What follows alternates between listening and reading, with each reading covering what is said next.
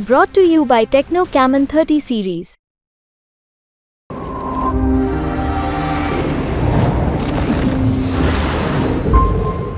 Start time ये वो सब सब स्टार्टिंग में आता है स्क्रीन सब पे आता आता है, है स्क्रीन मॉनिटर पे पे आता आता है उस पर मॉनिटर का See start time and end time दोनों जो सी सील नंबर होता है। वो कौन सा तो सील नंबर जो प्रिसाइडिंग ऑफिसर जिस पे सील लगाता है वो होता है या मशीन के अंदर अंदर कोई चीज़ एम्बेडेड होती है। नहीं मशीन के अंदर मशीन पर एम्बेडेड तो उसका मशीन नंबर होता है। हाँ।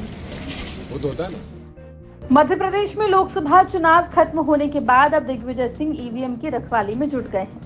दिग्विजय सिंह अपनी पत्नी अमृता सिंह के साथ कड़ी धूप में स्ट्रॉन्ग रूम का जायजा ले रहे हैं। दिग्विजय सिंह राजगढ़ में जीत को लेकर पूरी तरीके से आश्वस्त हैं।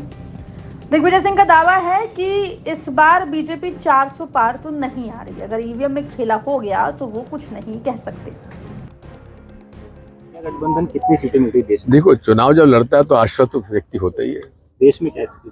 देश में चारों तरफ़ जो खबरें आ रही हैं वो तो 400 पार की तो नहीं आ रही है। कांग्रेस का क्या है? कांग्रेस की कांग्रेस का काफ़ी बढ़ोतरी होगी।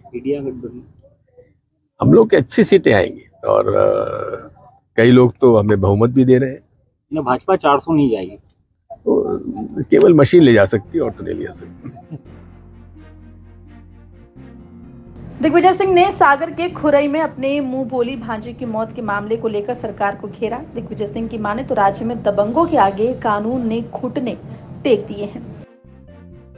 साधारण गरीब परिवार है और जो उसके पिता है रघुवीर अहिवार उनके पैर में भी पुरानी बहुत बड़ा चोट है जिससे वो चल फिर नहीं सकते। इसी बीच में जो छोटा मंझला भाई है विष्णु, उसका जिला बदर करवा दिया। पूरी तरीके से प्रशासन जो था, इस परिवार को पीछे दबाव बनाया हुआ था कि आप समझौता करो, नहीं तो आपको नुकसान होगा तो नुकसान हो गया। ये दबंगों का इतना आतंक है सागर संभाग में और प्रशासन कुछ कर नहीं रहा है। अगस्त 2023 से लेकर अब तक अनेक शिकायतें की गई हमको धौंस दी जा रही है, हमको मारने की धमकी दी जा रही है, लेकिन कई शिकायतों के बावजूद भी मुकदमा दायर नहीं हुआ। आपको बता दें कि मध्य प्रदेश में चार चरणों में लोकसभा चुनाव खत्म हो गया है। अब इंतज़ार चार जून का है जब परिणाम आएँगे।